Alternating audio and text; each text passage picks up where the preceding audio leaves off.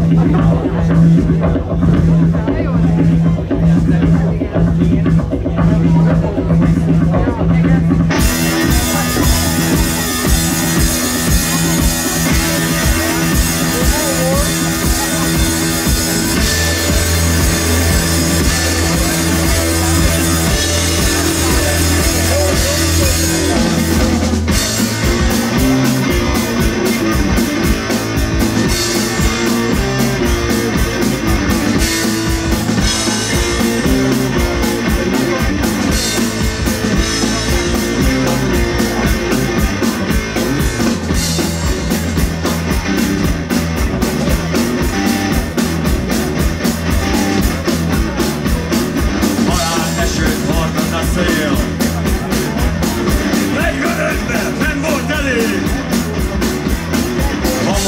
Svensk miljö och